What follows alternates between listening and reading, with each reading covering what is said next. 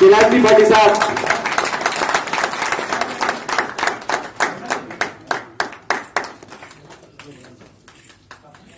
उप प्रधान साहब चौरासी पार्टी साहब का भी स्वागत उन्नीस जी एवं